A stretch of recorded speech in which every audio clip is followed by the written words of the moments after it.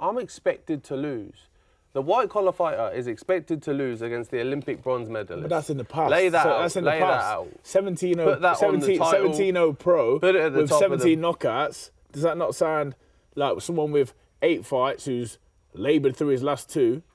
So, so Yeah, then who, according, that according to you, I fought nobody. So why does it matter? We both have. Let's let's be let's, let's talk according real. to you, I thought. Let's okay, talk. so we if we, both have. okay, if we both have, then fair enough. Say we're both on zero, both fought nobody. Like, one- so one- then, listen, based off your a- pedigree, you should be the one to beat me. No, that should put the that should because if I've if in the pros, if I've beat no one, and also in my four white collar fights, if I beat a couple of geezers from the pub, and you've been around the world with your ABA.